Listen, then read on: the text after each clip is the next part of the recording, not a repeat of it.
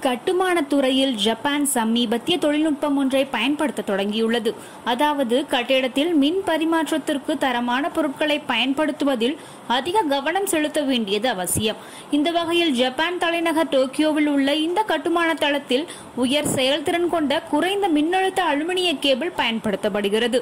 இந்த கேபிளை ஃபுருக்காவா எலக்ட்ரிக் உருவாக்கியுள்ளது. பொதுவாக கட்டிடங்களில் செப்பு கேபிள்கள் பயன்படுத்தப்படுவது வழக்கம். ஆனால் கட்டுமான நிறுவனத்தினர் தற்போது அலுமினிய கேபிள்களை பயன்படுத்த விரும்புகிறார்கள். காப்பருடன் ஒப்பிடும்போது இந்த அலுமினிய கேபிள்கள் மென்மையாகவும் எடை குறைவானதாகவும் உள்ளன.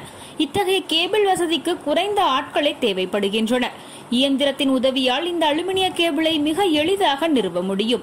கட்டுமான இடங்களில் கனரக இயந்திரங்களை கையாளும் போது தொழிலாளர்களின் பாதுகாப்பை உறுதி செய்வது ஜப்பானில் முன்னுரிமையாக உள்ளது. அந்த வகையில் பல ஜப்பானிய கட்டுமான நிறுவனங்கள் இந்த புதிய தொழில்நுட்பத்தை விரும்புகின்றன.